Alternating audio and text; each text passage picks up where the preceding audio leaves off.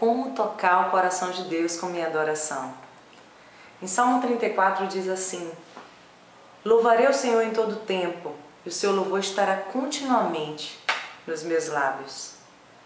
Há 23 anos tenho servido ao Senhor Jesus com minha voz e com minha adoração. E nesses 23 anos eu vivi diversas experiências com Deus, mas de fato a que mais me marcou foi a experiência da adoração. Porque quando você se abre para Deus, quando você entrega seu coração para Deus, quando você se lança nos braços de Deus sem reservas, Ele escuta a sua voz. É, nos últimos dias, diversas canções têm surgido, né? têm nascido do coração de adoradores, dizendo: Deus, eu quero chamar tua atenção para mim. Deus, eu sei que tu podes me tocar, eu sei que eu posso ser cheio, eu sei que tem mais para mim. Os adoradores desses dias têm estado sedentos da presença de Deus. E Deus gosta disso. A palavra de Deus diz que o Senhor está à procura de adoradores que o adorem em espírito e em verdade. E um dia, ainda na minha adolescência, eu ouvi falar desse versículo e falei: Deus, eu quero ser essa adoradora que tu estás à procura. Que o Senhor olhe para a terra e que o Senhor encontre em mim uma, uma verdadeira adoradora que te adora em espírito e em verdade. Mas eu não sabia como.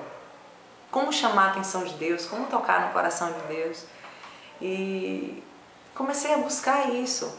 E perguntava às pessoas que cantavam, que tocavam, que dançavam eh, na igreja. Comecei a perguntar como tocar no coração de Deus, como eu posso chamar a atenção de Deus. E essas pessoas nunca tinham essa resposta para mim.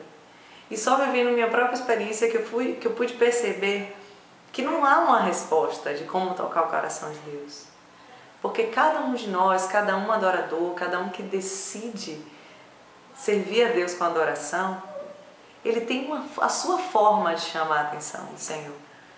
E eu me lembro que eu pegava o violão assim por vezes e, e começava a tocar. E às vezes não tinha canção em minha mente, não vinha nenhuma melodia à minha memória, então eu começava a colocar uma nota e tocava aquela nota, começava a tocar aquela nota e repetindo outras notas e começava a dizer Senhor, eu te adoro, Senhor, eu te quero, Senhor, tu és meu tudo. Ah, Senhor Jesus, sem ti eu não sou nada, tu és a minha fortaleza. Oh Espírito Santo. E ali eu começava a dizer palavras de amor para ele, começava a exaltar ele, dizer o quanto ele era importante na minha vida quanto Ele era especial na minha vida. E de repente, o lugar que eu estava, o ambiente que eu estava, começava a ser cheio da glória de Deus. E aí eu comecei a perceber que aquelas palavras que eu falava começavam a se transformar em canções. Então, se eu estava dizendo, Jesus, Tu és o meu tudo, Jesus, Tu és a minha fortaleza, Tu és o meu universo, eu poderia começar a cantar e dizer,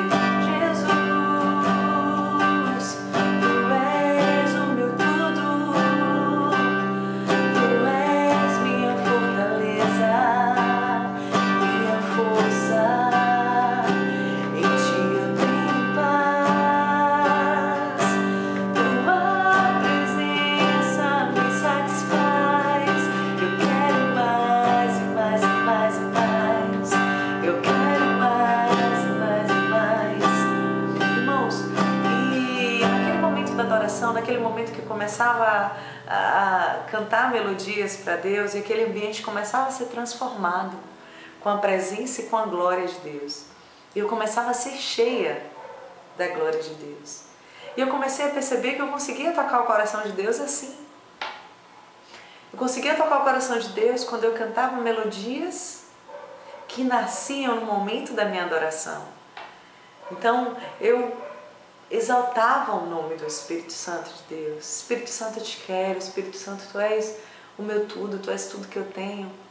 E por diversas vezes, o manifestar da glória de Deus se cumpriu na minha vida. Eu pude ver, eu pude assistir isso. E o que que acontecia?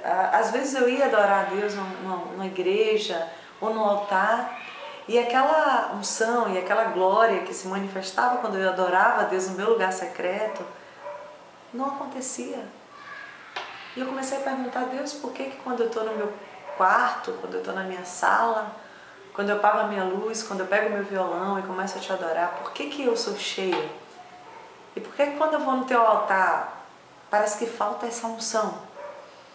E aí o Espírito Santo falou para mim assim, filha, você precisa me adorar no meu altar também. E muitas vezes o adorador ele deixa de adorar a Deus no altar, porque ele está diante de pessoas e ele teme, ele se preocupa que palavra usar, quais as músicas certas que devem ser tocadas, que estavam no repertório. E muitas vezes ele se preocupa tanto com essa questão da estrutura e da, do auditório que ele esquece de buscar aquele que é digno de ser adorado. E quando o Espírito Santo falou aquilo para mim, eu falei, Senhor, então eu devo te adorar também no teu altar. Então eu devo esquecer das pessoas que estão ali à frente e me ligar contigo, Espírito Santo, não. Você não deve esquecer das pessoas, mas você deve ajudar as pessoas a também serem cheias da minha presença e a também buscarem a minha presença. E a partir daquele dia eu comecei a convidar a igreja a esquecer, né? Quem está do seu lado, quem está à sua direita, quem está à sua esquerda. Esquecer dos seus problemas, das lutas que você esteja enfrentando na sua vida, no seu trabalho, na sua família e começar a se ligar com Deus. O momento da adoração é um momento seu com Deus, é um momento que você está diante de Deus e que você tem que ser cheio de Deus para receber a palavra que Deus tem para a sua vida. É, na maioria das vezes, o momento da adoração ela antecede o momento da palavra. O momento em que o pastor, ou apóstolo, ou o homem de Deus, ou a mulher de Deus vai vir trazer a palavra que Deus tem para a sua vida naquele dia. Então, o momento de você preparar o seu coração para receber a palavra que Deus tem para a sua vida é o momento da adoração. Então, eu quero compartilhar com você, querido, querida, que você se lance nos braços de Jesus na adoração. E essa adoração, essa, essa presença de Deus, ela não começa num lugar público para que você seja cheio de Deus na sua igreja, eh, num evento, num auditório, num lugar onde hajam outras pessoas, você precisa primeiro ser cheia da presença de Deus, ser cheio da presença de Deus no seu lugar secreto. É importante você ter um lugar secreto, um lugar onde você pare, onde você esqueça da sua rotina, esqueça dos seus problemas, talvez o seu quarto, a sua sala, a sua cozinha, a sua seu quintal, sua piscina, não importa mas um lugar onde você possa dizer: Deus, aqui sou eu e o Senhor.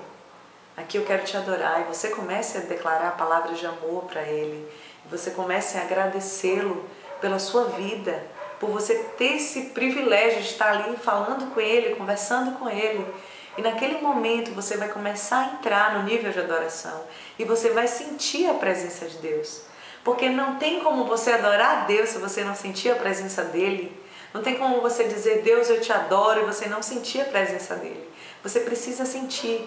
Enquanto você não sente essa presença, você continua clamando, continua pedindo, continua implorando ao Espírito Santo que se manifeste na sua vida, que você seja cheio dele. Quando você começar a sentir essa presença no seu lugar secreto, você vai aprender a adorar a Deus. E quando você aprende a adorar a Deus, nunca mais você deixa. E aí você vai criar uma rotina você vai criar um, um, um cotidiano na sua vida onde você não vai conseguir virar o dia, passar de um dia para o outro sem adorar a Deus. Como você precisa se alimentar, tomar banho, se vestir, se cuidar, pentear os cabelos, você vai sentir essa necessidade de adorar a Deus.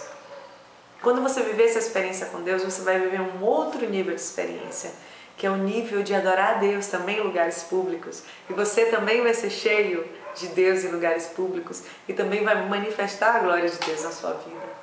Eu quero compartilhar com você que não há ninguém, não há nenhum adorador que seja melhor do que outro, ou que tenha um nível é, diferente de outro.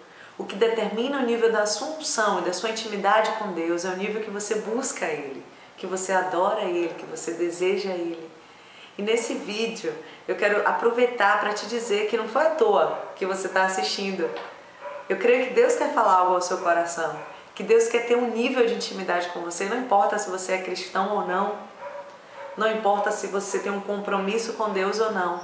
Eu quero te convidar a partir de hoje, a partir de agora, talvez quando esse vídeo terminar, que você vá agora, procure um lugar secreto, um canto secreto, onde você possa falar com Deus e você possa ser cheio de Deus. Eu declaro sobre a tua vida, sobre a tua casa, a presença do Espírito Santo de Deus. Que toda cadeia seja quebrada, que você consiga adorar a Deus, que você consiga ser cheio da glória de Deus, para que esse amor e essa glória inunda a sua vida e você possa viver um novo tempo, um tempo de adorador, um tempo de adoração. Deus abençoe sua vida. Fica na paz.